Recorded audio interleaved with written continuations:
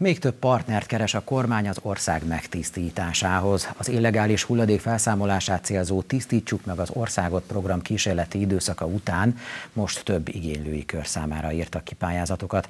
Az egyszeri, visszanemtérítendő forrásokra november elejétől lehet pályázni, döntés leghamarabb decemberben születik ezekről. A cél, hogy az összegyűjtött szemét ne termelődjön újra. Júliusban indult a valaha látott legnagyobb illegális hulladék felszámolási projekt az országban. A Tisztítsuk meg az országot 12 helyszínen zajlott kísérleti időszaka nemrég lezárult, most pedig már élesben megy a program, amelyre mintegy 13 milliárd forintot fordít a kormány. Két pályázati konstrukcióval az önkormányzatokat, civil gazdálkodó szervezeteket és egyházi jogi személyeket is bevonnák az akcióba. A pályázati konstrukciók valójában két ágon folynak. Egyfelől az Innovációs és Technológiai Minisztérium, mint a projektnek a koordináló szerv által két pályázati konstrukciók vannak, és van egy másik lába az önkormányzatoknak a belügyminisztériumnál. Az Innovációs és Technológiai Minisztérium pályázatot hírt ki többek között egyfelől a civil szervezeteknek, hiszen mi azt gondoljuk, hogy a hiába tisztítjuk meg a területeinket, hogyha azokat nem őrizzük, nem figyeljük meg, akkor újra fog termelődni az illegális hulladék. Ezért a civil szervezetek pályázhatnak a különböző köztulajdonban álló már megtisztulott területeknek a őrzésére, és a másik, amiben tudnak nekünk a civil szervezetek segíteni, hogy a nagyobb területeken elszórtan felelhető de nagy gépi munkálatokat nem igénylő hulladékot felderítik, illetve összegyűjtik. Ezek ugye jellemzően a kerékpárutak mentén szokott szétszórva lenni két település között ilyen természetű hulladék tehát a civil szervezetek ebben a két körben pályázhatnak. Egy másik konstrukciót írtunk ki egy tágabb körnek, az úgynevezett gazdálkodó szervezeteknek. A gazdálkodó szervezetek, ugye ezek nem a, csak a gazdasági társaságok, ez egy sokkal szélesebb kör. A polgári perrendtartásról szóló törvény terminológiáját használjuk, tehát ebbe beletartozik valójában a költségvetési szervektől a köztestületekig, az alapítványokon, a gazdasági társaságok, nagyon sok mindenki, és azt szeretnénk, hogyha ezek a gazdálkodó szervezetek abban segít segítenének ebben a programban, abban működnének közre, hogy az egyébként köztulajdonban, tehát önkormányzati vagy állami tulajdonban álló, de az ilyen gazdálkodó szervezetek által kezelt területeket, területek megtisztításában működjenek együtt az állammal. Tehát valójában arra kell gondolni, hogy ha van például egy kerékpárút, ami egy önkormányzat tulajdona, vagy az magyar állam tulajdona, de valaki más kezeli. Olyan is előfordulhat, hogy az állam tulajdona, de az önkormányzat kezeli, vagy önkormányzatok kezelik, mert két település közötti kerékpárút. Tehát ilyenkor például lehet ilyen pályázatra pályázni. Az egyházi jogi személyeknek szintén írtunk ki a tulajdonokban álló és kezelésükben álló területekre egy konstrukciót annak érdekében, hogyha például egy temető egyházi fenntartásban van, akkor a temető körülé temetőhöz kapcsolódó területek illegális hulladéktól való tehermentesítése megtörténhessen.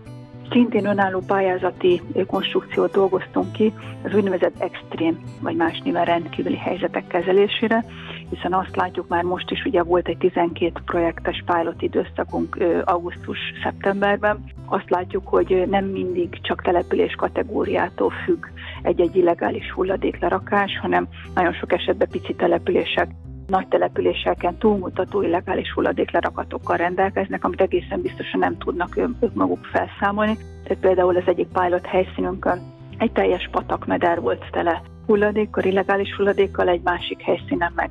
Építési bontási hulladék volt 5700 tonna mértékben, tehát ezek olyan költséges felszámolási konstrukciók, amit biztosan nem tudnak a, csak a úgynevezett BMS általános konstrukció alapján felszámolni, ezért létesítettünk egy ilyen mondjuk úgy rendkívüli helyzeteket kezelő pályázati konstrukciót. Erre valójában bárki pályázhat, civil szervezetek, gazdálkodó szervezetek, meg egyházak is ugyanúgy, hogyha a kirívó a hulladék mennyisége vagy az összetétele, sajátos az elhelyezkedése, tehát például a, nagyon sok esetben azt látjuk, hogy fölülről a hulladék úgy tűnik, hogy legális hulladék lerakat, hogy pici, de be van épülve a talajba 15-20 vagy akár 50 méter mélyen, annak a felszámolása megint csak egy extremitást jelent sajnos. És hát mindegyik konstrukciók esetében elvárjuk azt, hogy, hogy ugye ne csak megtisztítsuk a területet, mert újra termelődik az illegális hulladék. Nyilván ezt az állam felelőssége, hogy a, a, a különböző szigorú szankciós rendszert bevezessük minél előbb, de emellett mi a pályázóinktól azt várjuk el, hogyha megtisztítanak egy területet, akkor gondoskodjanak azoknak az őrzéséről, megfigyeléséről, hogyha ezt civil szervezetek útján teszik, természetesen az is megfelelő. A mi célunk az az, hogy, hogy ha valaki lát illegális hulladéklerakatot vagy lerakást, akkor azt jelentse, vagy ö, ugye a pályázati konstrukció keretében, vagy ugye a hulladékradaros applikációnk keretében is lehet lehetséges mindez, és végezetül van egy olyan konstrukció, ahol éppen ingatlanvédelmi rendszereket szeretnénk támogatni. Azt tapasztaltuk a pilot időszakban, hogy nagyon sok esetben a országos közúthálózatról lehajtanak a magánutakra, az erdőkbe, a földutakra, vagy mezőgazdasági területekre, és oda helyezik le az, a hulladékot. Tehát a, általánosságban azt láttuk, hogy a utaktól átlagosan egy 300-500 méterre nagyon sok illegális lerakatot lehet találni, ezért ö, szeretnénk támogatni a nem elektronikus sorompóknak a kihelyezését, ugye ezek az árterekben már most is számos esetben találhatók, tehát ezek ilyen manuális, nagyon nehéz sorompókat kell elképzelni, ugye pont az a céljuk, hogy le van lakatolva egy magánút, és nem lehet oda behajtani. Másfelől pedig ebben a konstrukcióban szeretnénk támogatni a különböző kameráknak, a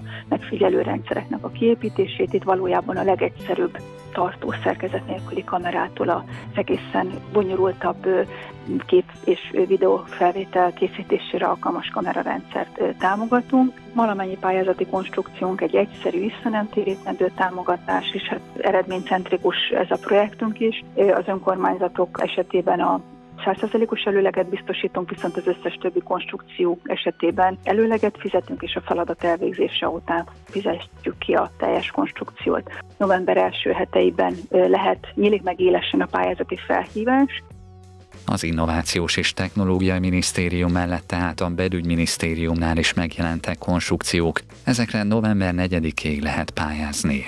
A pályázatok benyújtását követően a kincstár vizsgálja felül a pályázatokat, és december 7-én születik meg majd a döntés.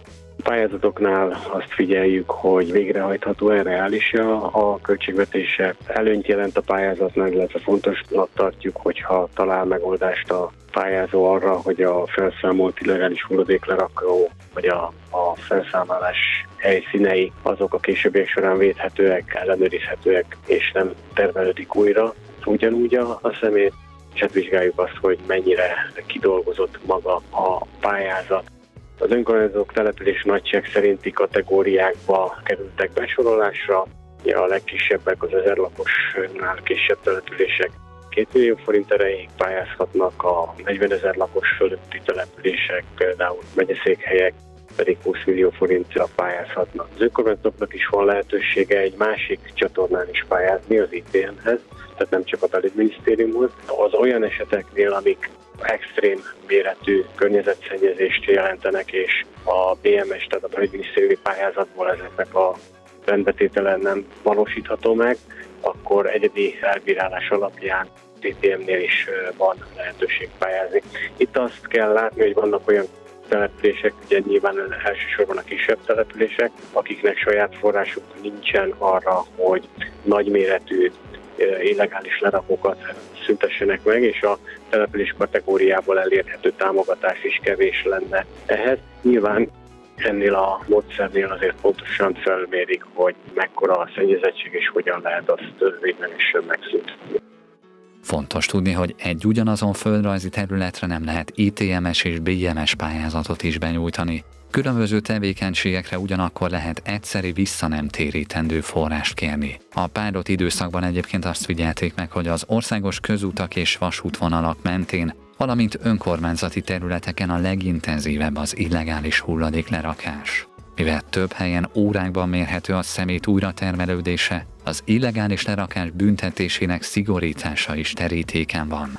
Mi megkerestük már a belügyminisztériumot annak érdekében, hogy dolgozzunk ki egy esetleges országos razzia rendszert, hiszen január 1-től szeretnénk majd hatályba léptetni azt az új szigorú jogszabálycsomagot, ami egyfelől az illegális hulladék lerakás büntetőjogi tényállásait fogja szigorítani, tehát bizonyos mennyiség fölött a hulladék lerakása az bűncselekmény lesz már, másfelől pedig ugye azonnal kiszabható helyszíni bírságok rendszerét szeretnénk bevezetni. Ezt a kormányhivatalokhoz szeretnénk telepíteni. A kormányhivatalokon belül a terveink szerint létrejönne egy új hulladékgazdálkodási hatóság, és ez a hulladékgazdálkodási hatóság megyénként ellenőrizni az illegális hulladéklerakást, és nagyon szigorú, nagyon magas szankciókat tudnak fizetni helyben, helyszíni bírság keretében, plusz el tudnám az kobozni azt az eszközt, ami az illegális hulladék lerakáshoz szolgál, tehát legtöbbször ugye oda szállítják valamilyen szállítóeszközzel,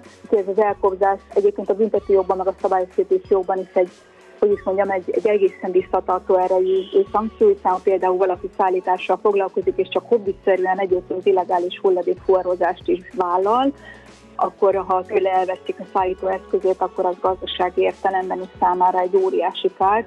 Ezért összességében ugye azt reméljük, hogy majd ez ennek kellő visszatartó ereje lesz. És végezetül egy fontos dolog, ami talán érdekes lehet, hogy azt reméltük, amikor elindítottuk ezt a projektet, hogy az illegális hulladék egy jelentős része szétválogatható lesz, és ki tudunk belőle nyerni gazdaságilag értelmezhető nyersanyagot. Tehát ugye a hulladékban a műanyag, a papír, például a fém hulladék rendkívül értékes természetű.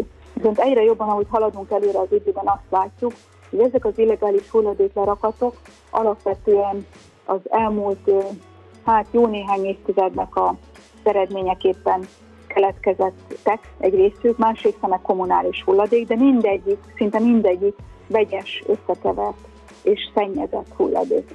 Tehát már bomlásnak indult, összekeveredett, földdel, sárral, ételmaradékkal, stb.